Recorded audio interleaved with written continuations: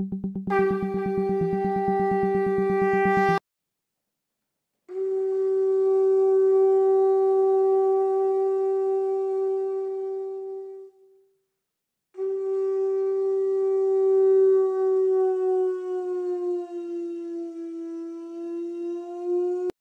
के लिए जा रहे हैं और ठाकुर जी का वन भोज उत्सव में ये जो है ममता का घर है। और यहाँ से हम लोग निकल रहे हैं। देखिए, ये ई रिक्शे पे सब लोग बैठ गए हैं। और ये देखिए, एक ई रिक्शा इधर है और इस ई रिक्शे में सब लोग बैठे हुए हैं हम लोग। और यहाँ से बाएँ साइड में जो है ठाकुर जी का सत्संग आश्रम है, दो किलोमीटर पे। और यहाँ से इधर दाएँ साइड में पाँच किलोमीटर पे मानिकपुर है, जहाँ हम लोग जा रहे हैं। हाँ। ये रास्ते का सीन है। और हम लोग जो है इन पे टोटो पे सवार हो चुके हैं। ये देखिए, ये पीछे से हम लोग चारों से आपको दिखा रहे हैं। देवघर का है मेला बगान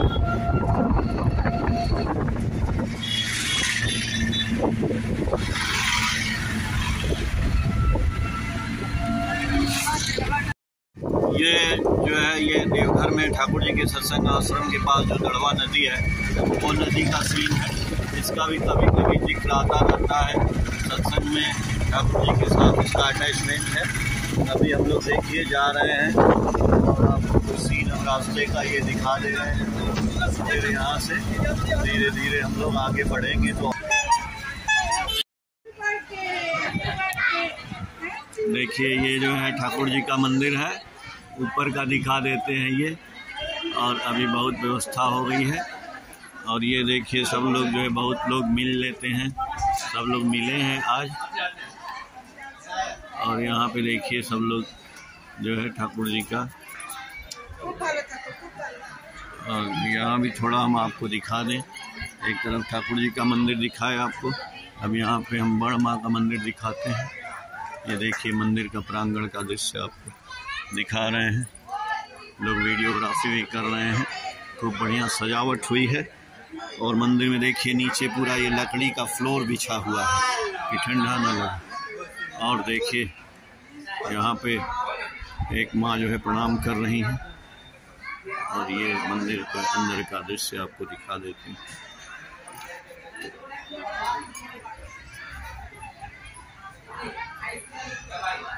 ये देखिए इधर लोग पिकनिक का है। उधर देखिए पात लगा है, लोग खा रहे हैं। वहीं हम लोग भी अभी जा कर के खाना खाएँगे। और ये देखिए इधर इधर का हम सीन आपको थोड़ा दिखा दें। पूरा मंदिर का सीन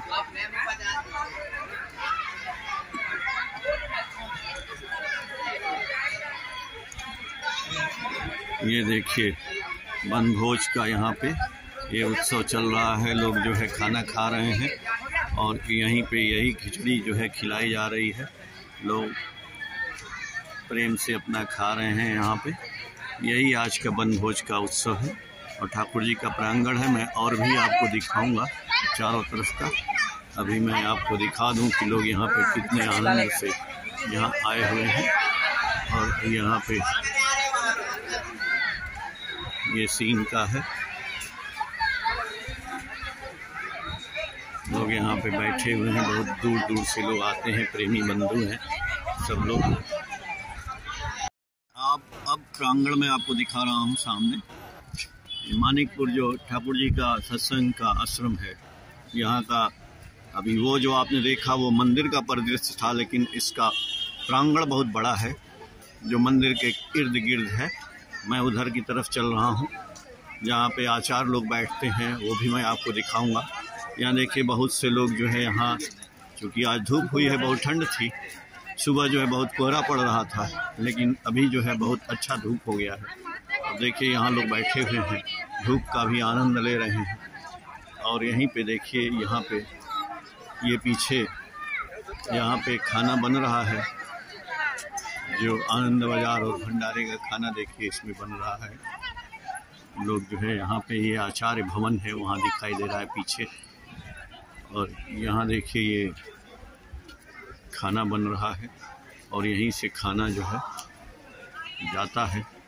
ये देखिए, इतनी बड़ी कढ़ाई है और इसी कढ़ाही से में से यहाँ पे बनाया जाता है और मैं आपको यहाँ से अभी अब मैं ये बाहर जा रहा हूँ यहाँ के परिदृश्य को दिखाते हुए।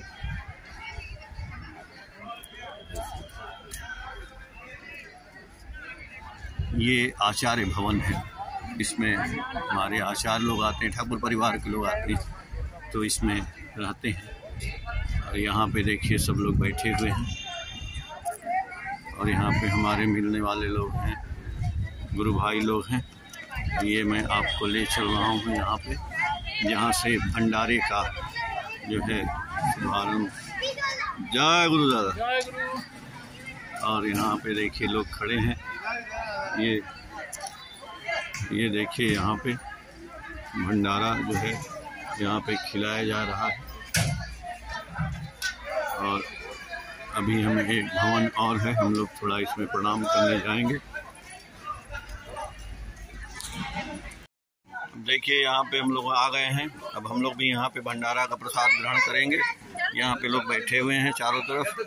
देखिए ये जो है ऐसे सब लोग बैठे हुए हैं, यहाँ पे डिस्ट्रीब्यूशन हो रहा है, सब लोग आनंद बाज़ार का प्रसाद ग्रहण कर रहे हैं। आप लोग देख लीजिए, हम लोगों को भी लोग बुला रहे हैं और यहीं पे हम लोग अब बैठेंगे। आप लोग देखिए, यहाँ पे सब लोग खा रहे हैं, यही है असली वन महोत्सव ठाकुर जी का। ये प्रांगण है, देखिए, बहुत बढ़िया। फिर हम आगे आपको थोड़ा सा बताएँगे।